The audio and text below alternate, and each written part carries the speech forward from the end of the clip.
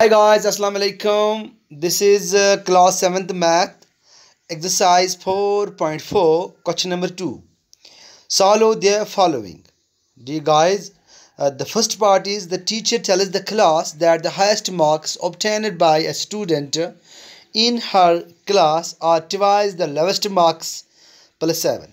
The highest score is uh, 87. What is the lowest score? तो यहाँ पे क्या है उस्ताद अपने क्लास से कहते हैं, अपने क्लास के बच्चों से कहते हैं tell is the class that the highest marks obtained by a student तो क्लास में एक स्टूडेंट्स ने, एक स्टूडेंट ने हाइस्ट मार्क्स लिए, सबसे ज़्यादा मार्क्स लिए। तो वह कितने थे?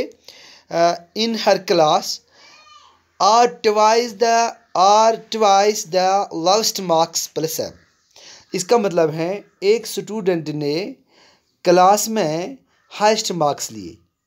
तो वो हाइस्ट मार्क्स कितने थे?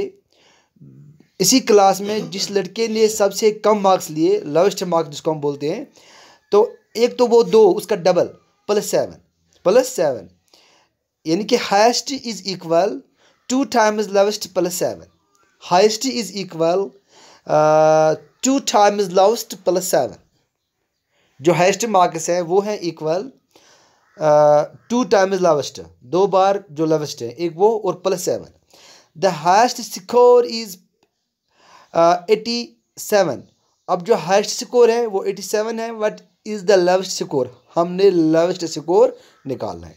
डी गाइज़ यहाँ पर आंसर दिया हुआ है? Let the lowest marks be Y अब जो सबसे कम जो मार्क्स लिए बच्चे ने, उसको हम डिनोट करते हैं वाई से.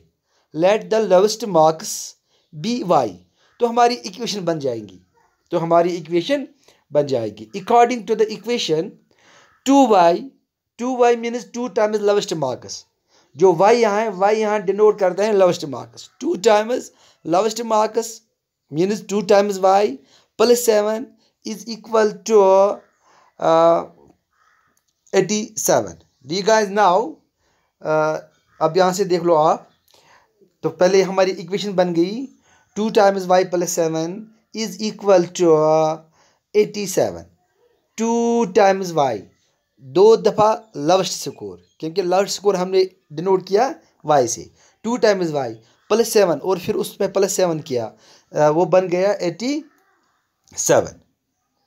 तो अब यहाँ पे देख लो that is two times Y is equal to eighty seven minus seven यहाँ पे प्लस सेवन था, जब हम ट्रांसपोजिंग मेथड में जब ये ये इक्वलिटी क्रॉस होती है तो साइन बदल जाता है। यहाँ पर ये प्लस था, यहाँ पे माइनस बन गया। So two Y is equal to eighty क्योंकि अगर सेवेंटी अगर एटी सेवन में सेवन कट करेंगे तो वो एटी रह जाएगा।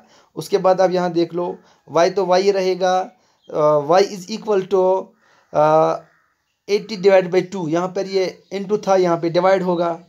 That is equal to one is R to two forty R eighty Y is equal forty thus the lowest score is thus the lowest score is forty forty plus forty हो गई eighty plus seven हो गए eighty seven बड़ा आसान सवाल है, आप एक दो बार देख लो, आपको समझ आ जाएगा।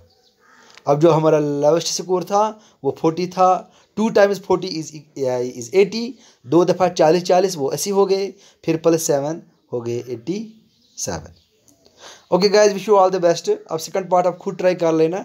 तो कोई नहीं, मैं वो भी दिखाऊँगा अगर आपको नहीं आया but let you try okay wish you all the best